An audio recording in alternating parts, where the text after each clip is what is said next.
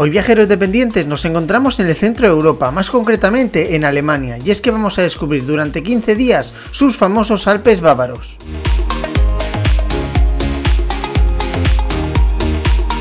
Esta es una de las regiones más adineradas de toda Europa y aquí la gente, además de ver montañas y pueblos, viene a ver castillos, palacios y otros muchos lugares que estamos seguros que os van a sorprender.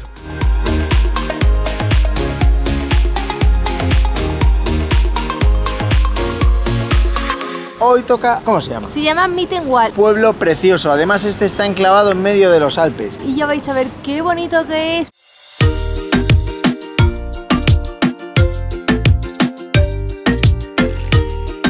Si hay un pueblo que sea turístico y representativo de los Alpes bávaros, este sin duda es Mittenwald, ubicado a casi mil metros de altitud donde es posible disfrutar de un agradable paseo por su calle principal que es toda peatonal. Y si hay algo que caracteriza mucho a los pueblos de los Alpes es que tienen fachadas con murales que son verdaderas obras de arte.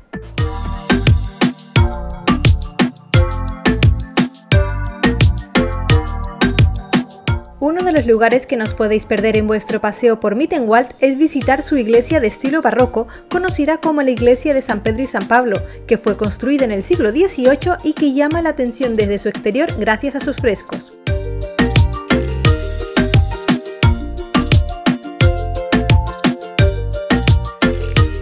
Esta población también posee algún museo y uno que es muy representativo es el Museo del Violín, donde podemos ver un taller, diferentes violines y otros instrumentos de cuerda ubicados en el interior de una de las casas históricas.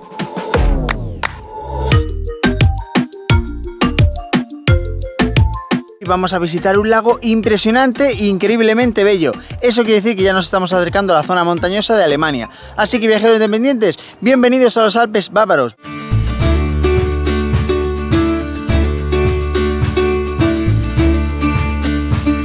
Con una longitud de más de 7 kilómetros de distancia, el conocido como Lago del Rey se presenta como una de las principales atracciones turísticas de todos los Alpes de Alemania.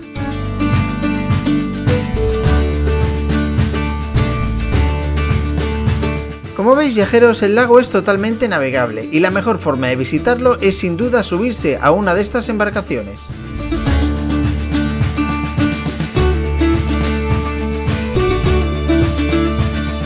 Una vez hemos llegado con el barco al otro extremo del lago y hemos tocado tierra, aquí hay que decir que existen una gran cantidad y variedad de excursiones posibles para hacer.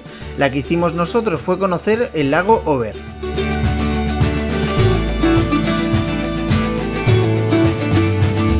Y después de este breve paseo nos dirigimos otra vez a la zona del pequeño puerto para volvernos a subir al ferry. No os olvidéis que suelen ser bastante puntuales. Hoy estamos en un top 5 de toda Europa, eh, en el castillo de Neuschwanstein. aquí está. Eso es, viajeros independientes. Pero hay que decir que es patrimonio de la humanidad, que está casi ahí, rozando las 8 maravillas del mundo actual.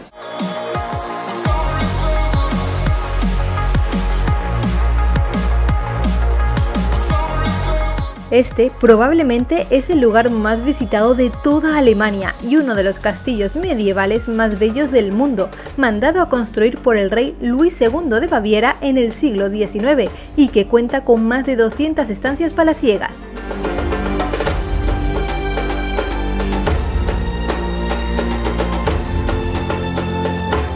Justo al final del recorrido de la visita no os despistéis porque podréis ver la cocina medieval que es una de las más impresionantes de su época en toda Europa.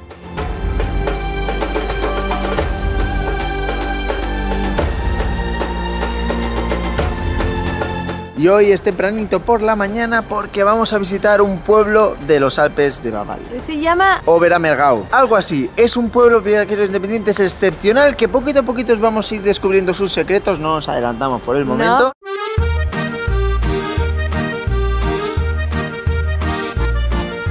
Situado a menos de 25 kilómetros de la propia frontera con Austria, hay que decir que este pueblo fue toda una sorpresa, es bastante menos visitado que Mittenwald y ya os podéis imaginar cuál fue nuestra principal motivación para visitar este precioso pueblo.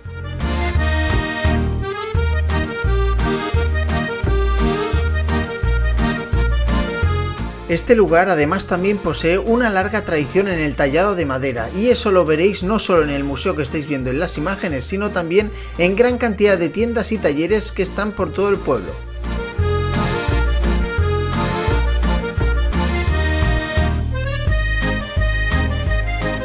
Al igual que en el otro pueblo alpino, en Overamergau también existe una iglesia que merece la pena visitar y esta es la de San Pedro y San Pablo. Son espectaculares los frescos y tener presente que es totalmente gratuita.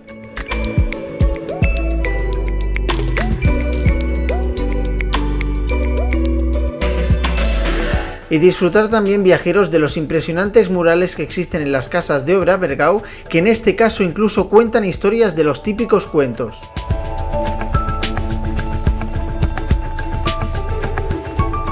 Hoy toca ruta en los Alpes bávaros, pero no estamos justamente en los Alpes bávaros, porque hemos pasado nada, lo que son un par de kilómetros, la frontera de Alemania con Austria. Aparecemos en Austria que vamos a visitar. Vamos a visitar lo que son unas super gargantas.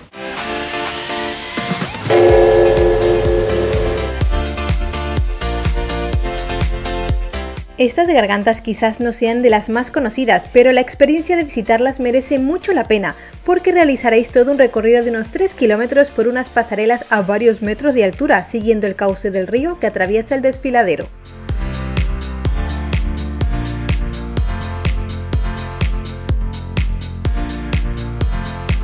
Para realizar la ruta completa y disfrutar del paisaje, os recomendamos reservaros alrededor de unas dos horas y llegar hasta el final, donde están las zonas de descanso y el impresionante puente de hierro que se eleva a 75 metros de altura sobre el río desde donde tendréis unas vistas muy buenas.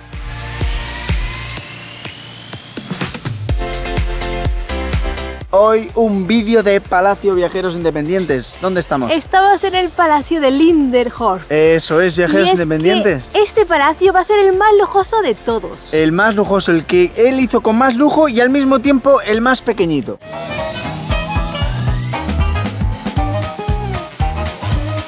El Palacio de Linderhof junto al Castillo de Neuschwanstein fueron dos de los lugares que hizo construir el rey Luis II de Baviera, y además este fue el único de los tres que hizo construir que vio finalizado.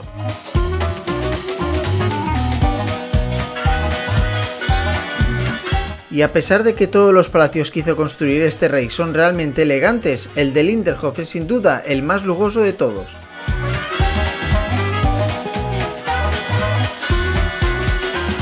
Cuando salgáis del palacio, dirigiros directamente a sus jardines, que son una auténtica delicia, y en ellos veréis fácilmente que estos fueron inspirados en Versalles.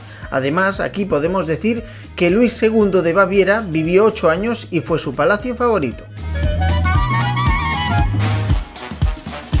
Hoy hacemos probablemente el que es el vídeo más especial para nosotros y bonito. Aquí hay un pueblo entero de 150 construcciones diferentes entre casas, granjas, escuelas, capillas y de todo, donde podemos ver el estilo de vida tradicional.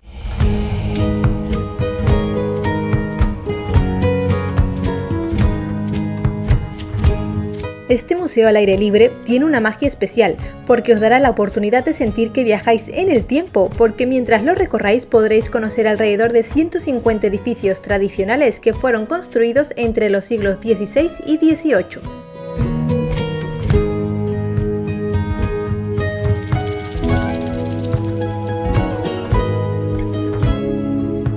Lo mejor de todo es que no solo se ven los edificios desde fuera, sino que también se puede acceder a la gran mayoría de ellos, pudiendo ver diferentes tipos de casas distribuidas de formas distintas, todas llenas de objetos y mobiliario.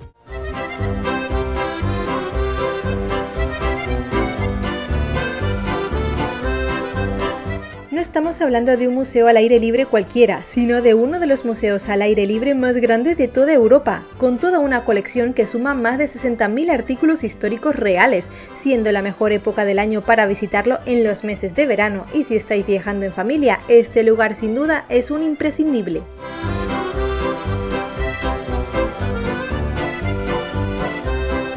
Con vídeo con un poquito de aventura porque vamos a visitar la isla de Herreninsel, que dentro tiene un castillo y alguna otra cosita. Pero para llegar a la isla necesitamos coger un ferry.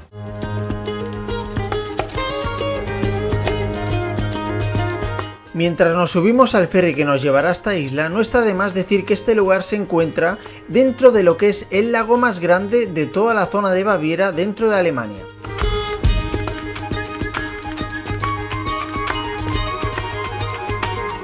El principal motivo para llegar hasta esta isla es visitar el tercero y último palacio de los que hizo construir el rey segundo de Baviera.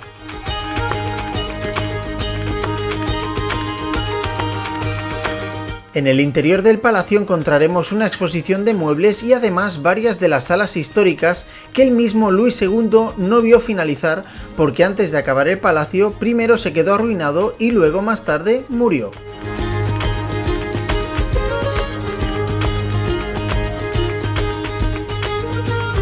Y antes de iros no os olvidéis una vez más de visitar sus jardines y fuentes que ya sabéis que son de inspiración en el Palacio de Versalles.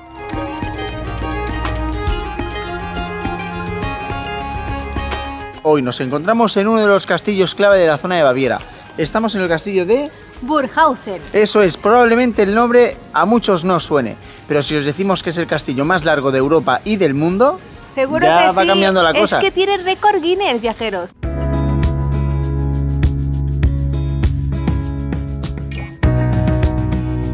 En nuestra última parada del viaje os queremos enseñar este curioso castillo cuyo origen data entre el siglo VIII y el siglo IX, aunque gran parte de las estructuras que tiene en la actualidad son del 1400.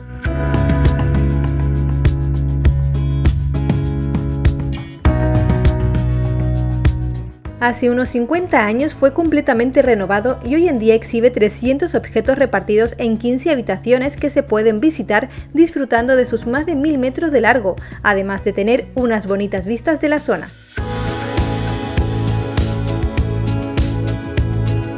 Y con esta visita despedimos nuestra aventura. ¡Hasta la próxima!